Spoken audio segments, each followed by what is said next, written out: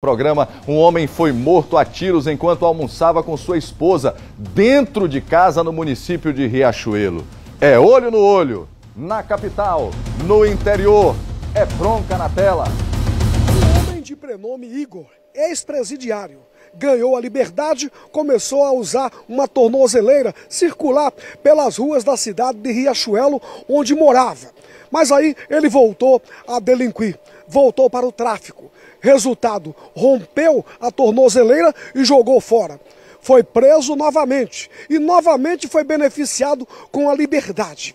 Ontem, meio-dia, início de tarde, ele estava em casa, almoçando com a esposa, que está grávida, quando em determinado momento a casa foi invadida por dois homens.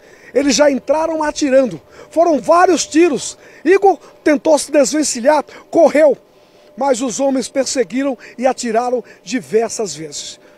Todo esse movimento foi assistido ao vivo pela esposa grávida. Igor caiu na porta de casa morto. A polícia foi acionada imediatamente, começou a investigar.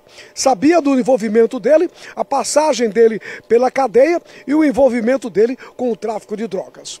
Imediatamente, a polícia é, conseguiu informações que levassem aos nomes dos dois executores.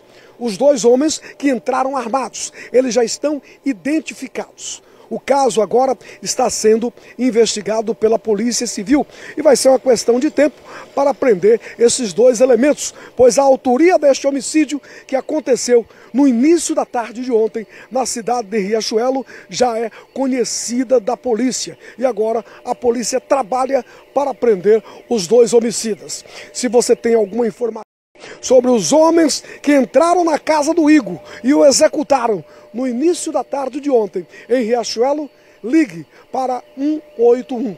É o disque denúncia da Polícia Civil. O seu nome será mantido em sigilo. Se não quer que a notícia seja divulgada, não deixe que o fato aconteça. Reportagem Douglas Magalhães.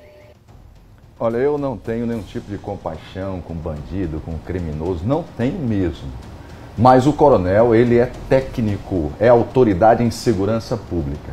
Quantas vezes o senhor já disse aqui, quando o Estado não se faz presente, não tem a estrutura necessária para proteger o cidadão, independente dele ser bandido, dele ter cometido crime ou não. O que aconteceu aí, o cara ser assassinado dentro de casa, Coronel Yunes, vai de encontro com a palavra do senhor aqui todos os dias no Tolerância Zero.